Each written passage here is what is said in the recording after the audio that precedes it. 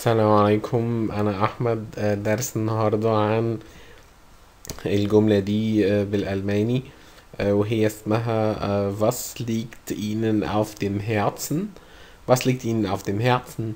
دي معناها إيه اللي في قلبك أو إيه اللي في عقلك؟ تمام؟ أنا ممكن أسأل أي حد وأقول له أنت عاوز إيه؟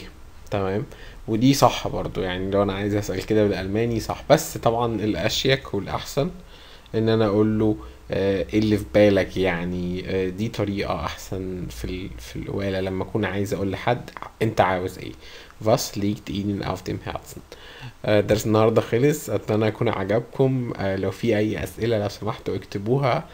أنا يعني بحط الحاجات دي على الإنترنت عشان أنا مش عارف بالظبط اللي بيدور بيدور على إيه. بس لو أنتوا عايزين حاجة معينة لو سمحتوا اكتبوها.